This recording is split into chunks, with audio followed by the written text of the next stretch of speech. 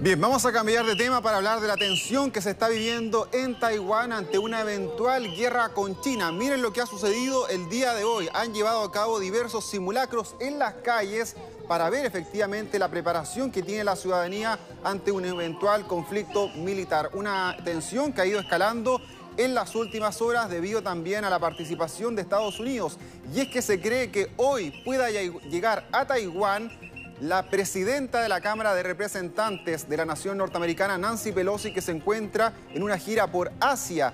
Esto ha generado la indignación de China, que ven como una afrenta que visite esta nación vecina, que China además considera como parte de su territorio. Por eso dijo que podrían haber graves consecuencias y que su ejército no se iba a quedar de brazos cruzados si finalmente Pelosi llega hasta Taiwán. Lo concreto es que hace mucho tiempo que estas dos naciones se ven enemistadas. Taiwán ha sido reconocida por poquitos países del mundo, sin embargo ha tenido el apoyo de Estados Unidos y otras naciones, sobre todo de América Latina. Y ahí estamos viendo a Pelosi, que ha llegado entonces a Asia en esta gira y podría hoy arribar hasta Taiwán, este pequeño territorio de solo 24 millones de habitantes que alguna vez compartieron la misma política, la misma cultura que era China, que el gigante asiático. Sin embargo, la guerra civil del año 49 finalmente terminó por separarlos.